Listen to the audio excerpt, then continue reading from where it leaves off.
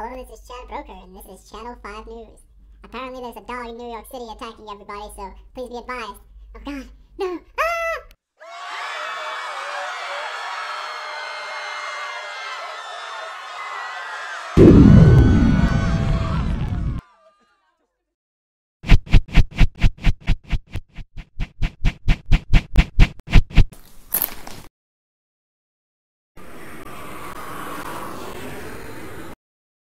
We need more backup! Air support on the way.